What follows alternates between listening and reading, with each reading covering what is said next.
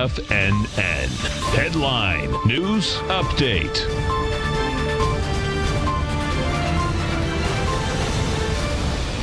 Good morning, everybody. I'm Tommy O'Brien coming to you live from TFNN headquarters in St. Petersburg, Florida. It's Thursday, 9 a.m. Eastern Time, 30 minutes to go until the opening bell.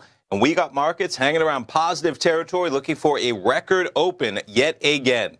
Dow futures up 112 points right now. That's about four tenths percent in the positive trading at 28,882. S&P's up 11 at 3271. Nasdaq futures up 52 points at 89.97. That's Nasdaq 100. Oil up a bit. Gold trading lower. We'll start things off. Let's jump over to the charts. We'll start it off with the indices. Dow 30 you see yesterday's action, a little bit of a sell off towards the end of the day, but still quite a positive day, quite a reversal, back things up. I mean, look at that run from the overnight low we had Tuesday evening. We were trading at 28,094. We're looking for 29,000 potentially today. Pretty remarkable. 28,872. NASDAQ 100. You back things up to yesterday. You back it up to overnight Tuesday.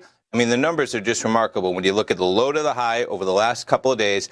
8682. We're now flirting with 9,000 in the Nasdaq 100.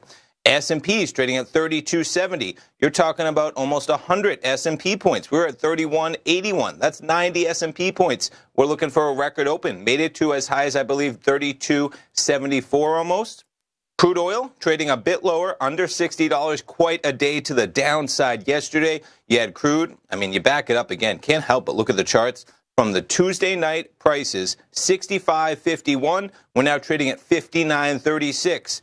Gold overnight, quite an acceleration, continuing the downtrend. Gold at 15.49, actually made it to 15.41. And again, you back things up. We were as high as 16.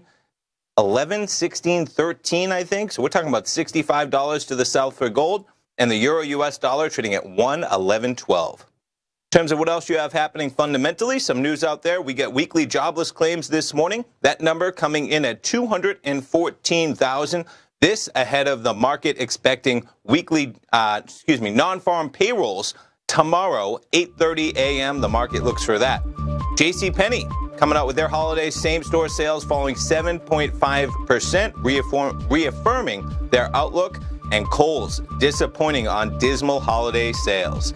Jumping over real quick to those, you got Kohl's, KSS, looking to open about 45, JC Penney about buck 17. Stay tuned, folks. Larry Pesavento coming up right now. We'll be right back.